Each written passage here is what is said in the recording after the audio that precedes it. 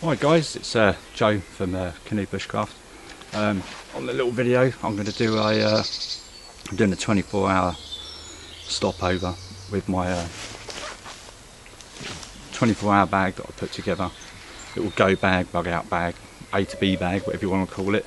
Um, yeah, so I'm going to video sort of most of it. I'm going to uh, I've got a puncher at the bottom of the bag. I'm going to lay that down over there and uh, go through the contents of the bag sort of briefly.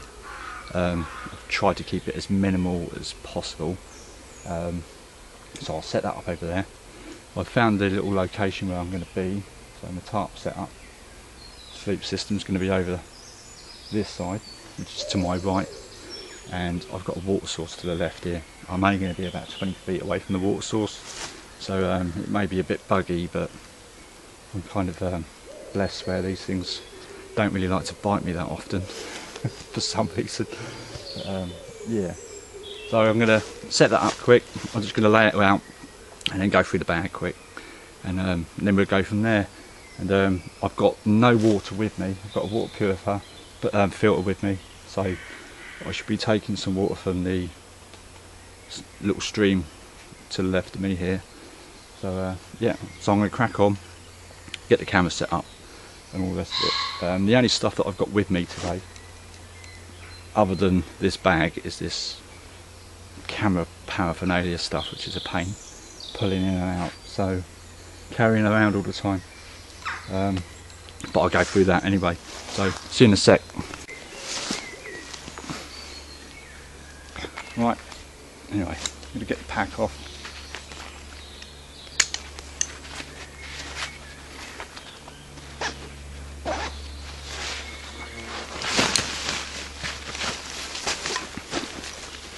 As you can see on the pack I've got the uh, it's the black plain black line cover. This is like a medium size. The pack itself is only around 30 35 litre. It's um, cheap and cheerful made by Kombat.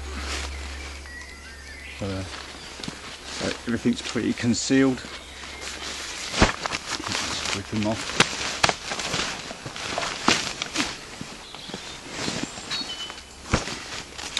just one of these. They're only about three or four pound, but um, they're great for concealing what's on the pack. I've got a few things on the outside of the pack, so I can, uh, yeah, just conceal it if I have to get through. If it's a bug out, I've got to go through towns or anything or anything like that, and I can really see what's on the pack. Um, I mean, for what they are, they're all right. I mean, they're great for using as a kneeling pad you can just put these over your knees and uh, just keep the water off your knees. Um, those other bits and bobs, then they are 100% waterproof, so I could even carry water in it if I needed to. You know, it's just one of those, or even wash up in it, which is quite cool. Um, yeah, so it is what it is. And if you've got any Rastafarian friends or anyone with a decent set of dreads, ideal shower cap. Anyway, so there's the bag. It's just like the um, just the combat assault pack. Pretty sure it's 30 litre. It's not too bad. Straps are quite cool. They're alright. They're quite padded. Uh, you've got a little compartment here which I've got some bits in on the side of the pack. Um, right, got a Laplander. It's just tucked in there. Got a little Espino on it and I've got a ham radio uh, which this. Ham radio is all preset with um, the uh, United Kingdom Survival Network channels and the package that comes with that. Um, so it's there if I need it. And, uh, it's quite a good little setup to have you know uh, which is cool. I've probably used this about five times ever since I've had it. I've used the FM radio on it most of the time and yeah. there's a load of legal mumbo jumbo that goes with it. You don't use it unless you're licensed and all the rest of it. But in a dodgy situation I think that goes out the window. But personally I just don't use those channels you know. I think I've used them about twice and that's because I've got um, a second one at home as well. So just to make sure it works. But, um, it was very briefly, and I think I must have only keyed that the PT button. I thought dozen times, and most of those by accident where I just grabbed hold of it. Uh, so that's that side of the pack. On this side I've got a torch and just a cheap and cheerful Mora, which is um, you know pretty good knife for the pennies. So okay, um, it's got one main compartment, it's got a secondary compartment, utility two utility pouches on the front. Uh, it came with this like plastic carabiner. It's all right. Uh, does what it says. That's about it. So what I'm going to do on the bottom I've got a little waterproof bag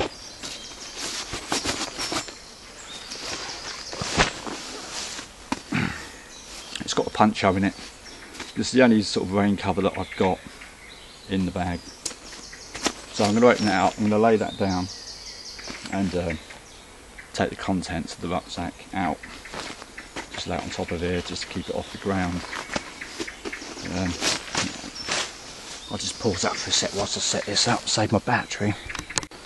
Right then. This uh, Puncho is, um, I think it's the the Aussie military one. I've had it about five or six years. It's uh, yeah, it's pretty robust. It's pretty decent. Um, yeah, loads of uh, loads of gump out on the net. Right in the front utility pouch there's not a great deal in here. I've got a uh, rechargeable torch, which is also uh, a power bank, which is pretty cool. First aid kit, um, pretty basic. Well, it, it's it's all geared up for what I know how to use. There's nothing in there that I don't know how to use, so it is pretty basic. Um, you know, no point me having stuff in there I don't understand how to work. So yeah, that's in there. Got a charging cable, which is for the, my phone. Yeah, obviously goes to the um, little power bank torch there. And I've got a, an emergency blanket. I think there's one in there as well. I'm not going to go through the actual uh, first aid kit. It's just plasters and bits, bobs, and a couple of painkillers and stuff like that. So that's in that little plant pouch. Right, the uh, second utility pouch, I hope this lighting's alright, it looks a bit dark.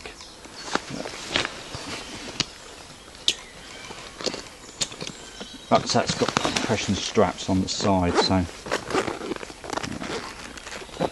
also what I like to tend to do with the rucksack is just get used to doing it is the zips. Always on the same side. It's just like a muscle memory so I just always go to the one side of the rucksack to undo. It's just I don't know whether it's my OCD or what but I just like to keep it that way. Okay so in the front utility pouch I've got a variety of items. Um, that's like hands-free uh, earpiece and speaker kit for my ham radio um, I've got the Sawyer water filter, which I'll be using in a bit. Um, I've got a couple of navigation stuff in here because I've got um, an OS map of the 1 in 25 OS map of the area. Um, I've got a whole bunch of the things, but um, depending where I'm going, so this is chucked in the back of the motor and I'm going somewhere, then I'd have an OS map for the area to get me to A to B. I've got um, an old eTrex which is pretty cool. This is great for like, um, it's basically, I'd, I'd use it for recording where I've been.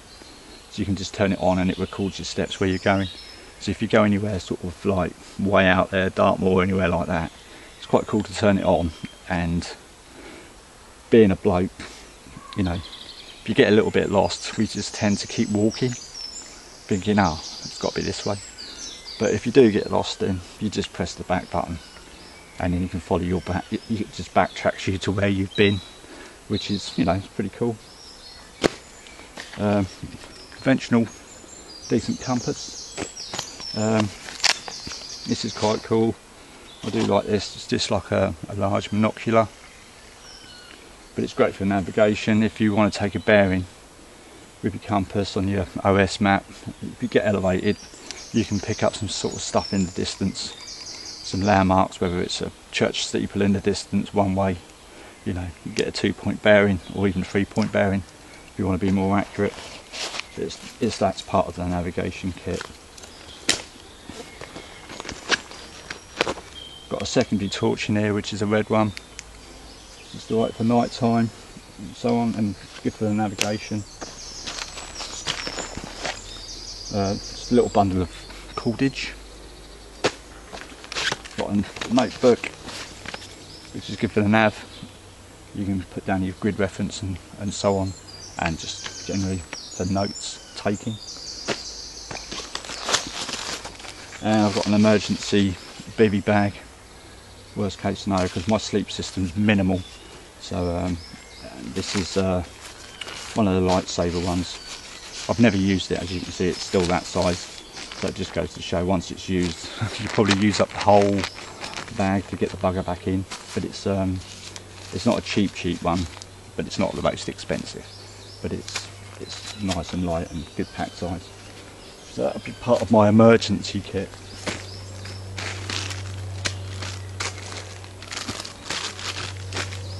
Right, that was in the front utility pouch, so the secondary pouch.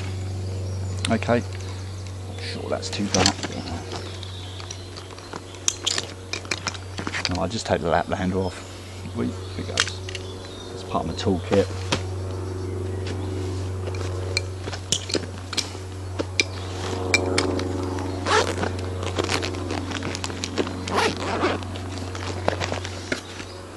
So I'll stick the tools in one sort of area if you like nav in one area. First aid self-help sort of kit down that way. Right, this main pouch is is my foods. Um, I've got around three and a half thousand calories of food there.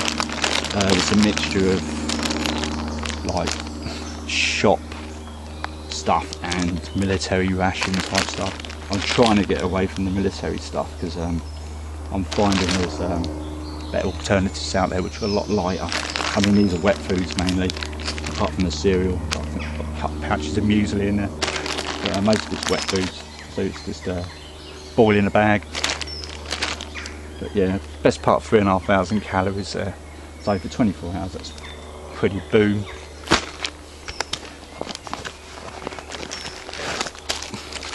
Good old Hexi stove. I want to keep a low profile or um, you know if I'm in a place where you're not allowed to have a fire if you like. The place where I'm at at the moment you're allowed to have ground fires. This is a um, an organised wild campsite um, but there is designated areas for that kind of camping which has got a fire pit so, um, so this is ideal for this area I could just use this and they're pretty bomb proof. Um, so my eating and drinking is this. It's the old um, Sigg, Sigg bottle and cup. It's the oval one. They're actually getting quite hard to get hold of now, but they're all steel. So I've got the small steel cup, got my food, and obviously the steel bottle. I'm not sure how many, what it will hold. I'm guessing maybe just under half a litre or maybe even half a litre. But uh, yeah it's a it's a pretty cool bottle. I could chuck it in a fire but I haven't bothered.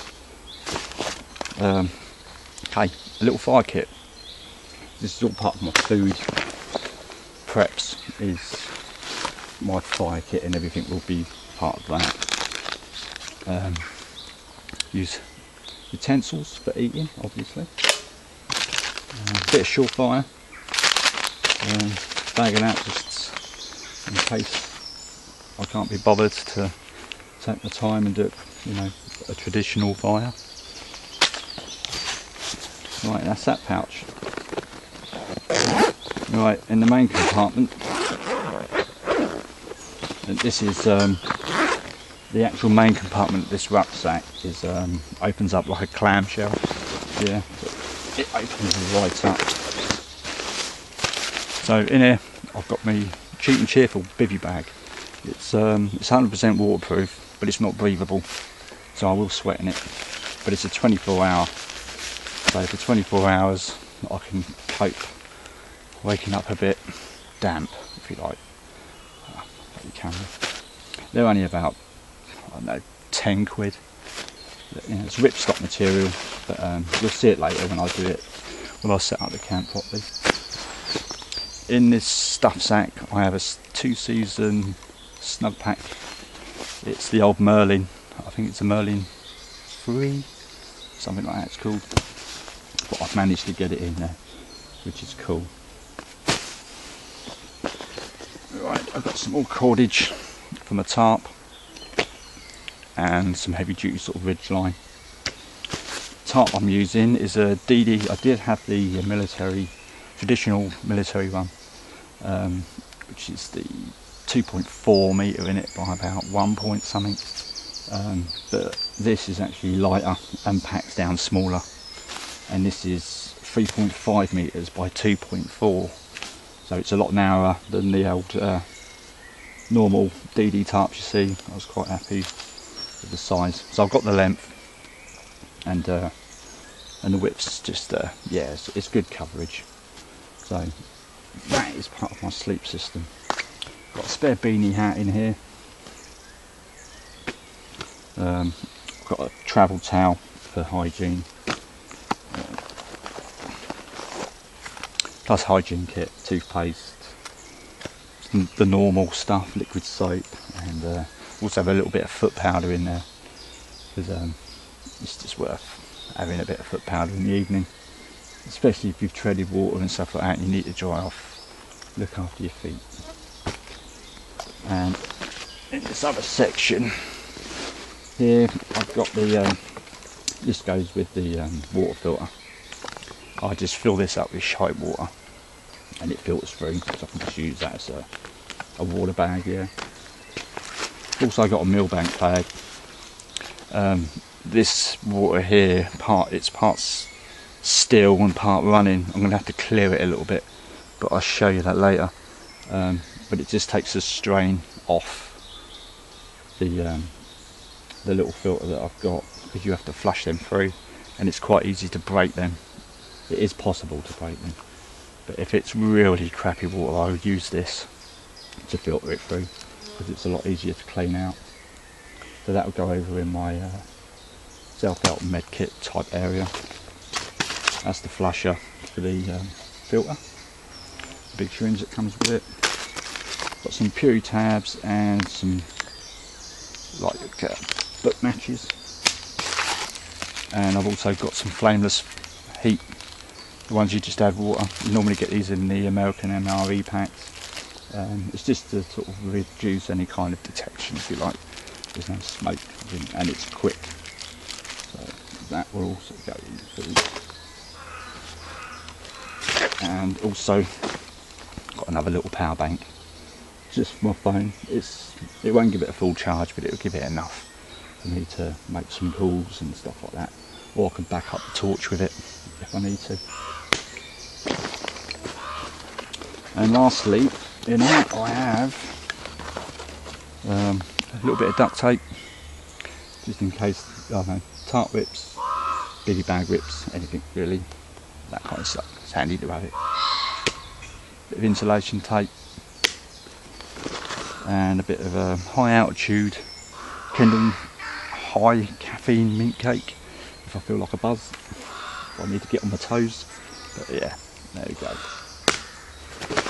and that's it so um, and that's all I've got on there so apart from that torch and the Mora which I'll remove later but that's it and obviously me Murad so so what I do now is I'll set up my um, tarp and my sleep system and uh, sort of just go through that a little bit on what I've done. But uh, I'm not sure what the whole weight is, but I've tried to strip it back.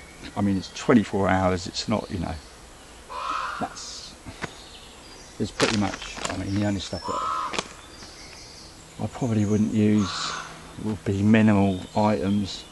The rest of it I will use, and obviously the bag can get a lot lighter once I start stopping this stuff. And it's going to give me that little bit of extra space in there to get a bit more comfortable on the back. So, um, right, so I'll catch you in a bit. I'm just going to set up the actual tarp and my sleep system for, for the night. Cool beans. Right guys, this is the um, water source. Water source that I was talking about. Hopefully you can hear me. Um, part of it's running, which is cool. So most of the crap's getting filtered out with the stones and all that sort of stuff. But the big body of water that I'm sort of getting water from is over there, a bit deeper. It's just a bit easier to fill up the uh, the Sawyer bottle, uh, little squidgy bag. But um, so basically what I was just doing is just uh, trying to clear out the stones just to get this flow going. See here it's got like a natural dam going on.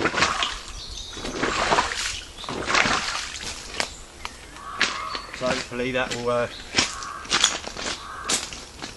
just a bit more of a flow and it takes that top silt off of the, uh, the big body of water over there, yeah. So that'll clear a little bit and it's just, just saving on the actual filter itself, which is quite cool. But there's um, this is permanently running. Um, it's just building up pooling down there. Uh, that'd be my water source. Right. Ah! Okay, and uh, down here is where it's happening. I'm using the Milbank bag, fill up the cup, then I chuck some, uh, I chuck a Puritab down in there, just to help sort of do that extra little bit. But that stuff will be boiled. Um, this stuff I can just drink straight from the bag. It's, you know, I'm trusting the filter's gonna not give me a gut ache. All the, all the skitters. um, yeah, so that is basically going to be cooked with. I can, you know, Puritab it, and just bring it to a rolling boil as well you know so uh, it'll kill any kind of bacteria and that kind of stuff in there which you know most people know anyway. Um, the thing with these filters these are all right but um, yeah certain viruses and that these, they don't touch it and metals and you know if you're on farmland and stuff and uh, I've seen many people drinking out of rivers and stuff with these filters it's just like wow you know, because it runs off of fields, pesticides and that in it. These things don't get rid of it, not these cheap ones. They won't get rid of pesticides and chemicals, and you can boil them forever. They're, you're still going to get some sort of, uh, yeah, I wouldn't like, I, I just personally don't do it. So um, this kind of stuff, it's all right. Yeah, I kind of know the area. Um, there might be something in there. I'm not 100%, but um, you know, do what you can. I mean, the Milbank bag's great. It's getting all the heavy crap out of it. Puritab, kill the bacteria and so on. And, you know, and then I'm just going to boil it anyway.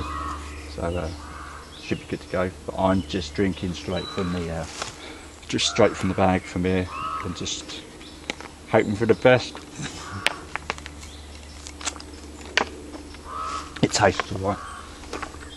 Right, um, so I'm going to just try and spin this round. Alright, I've gone for like a baker tent type. How do you do? I've just pegged down the sides. I've used those two S-Biners which are on the side of my bag to um, scrunch up the side of the tarp. I haven't gone the full length for the three and a half metre length that it is. I don't need to. If I was hammock camping different different ball game you want that extra length but um, that's going to be spot on. The weather forecast will last the next couple of days. Well, for tonight and tomorrow is going to be boom, so that's all right. Um, I don't know if I can zoom in a little bit. I will take this off, but um, I can't see if that's really light or dark. But um,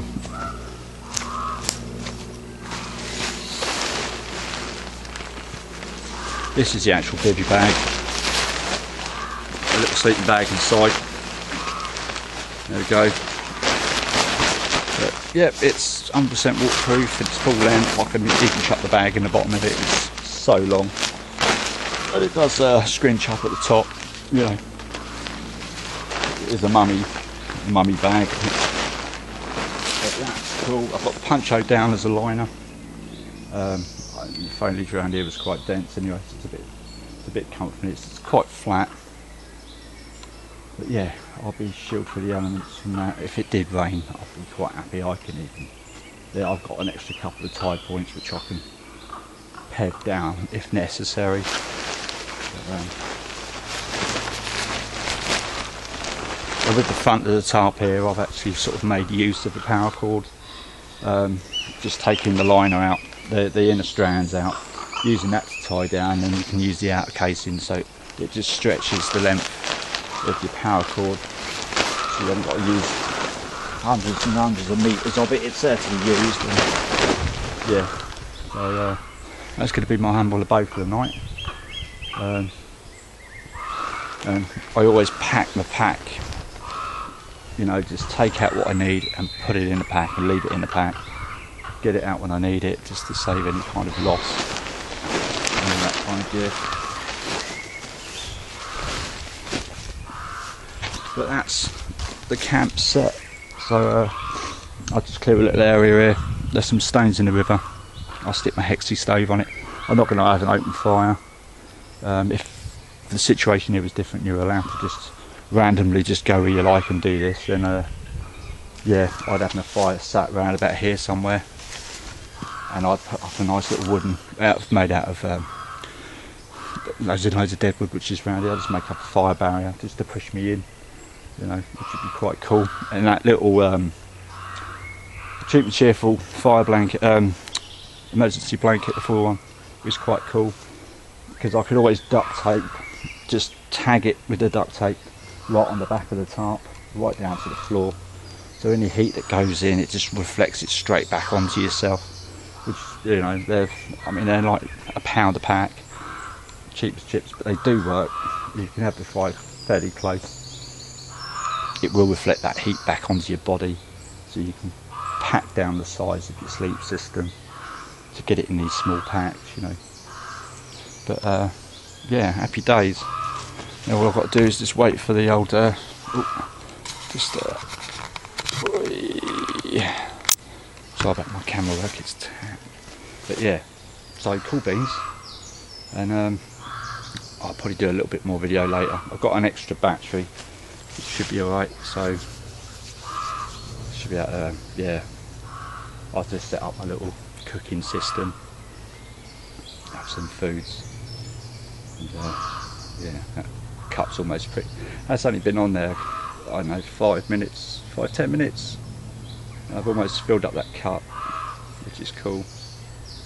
And the thing with the Milbank bag, don't dunk the Milbank bag, you've got to fill that, like decant the water into it. So I just use that blue squidgy bag from the Sawyer filter system to fill that up. And I've, I've not filled it to the rim. You can add Puri-Tab to it inside the Milbank bag but you can just break those tablets up, you know, accordingly. So yeah, that'd be cool. So my little humble abode for the night is going to be, yeah, cool. And I could always, you know, if rain did kick in, I would, yeah, I could go full, full Monty. I've got plenty of space to do it. So uh, yeah, so cool beans. Uh, hope you liked it so far. If you have, hit the like button, subscribe and all that nonsense. Um, oh, I keep getting my, uh, where is it? Try and zoom into it a little bit better if I can.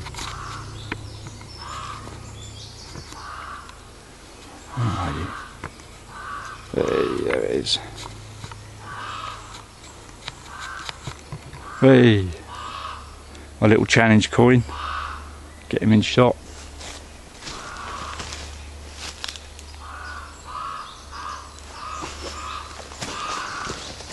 There we go.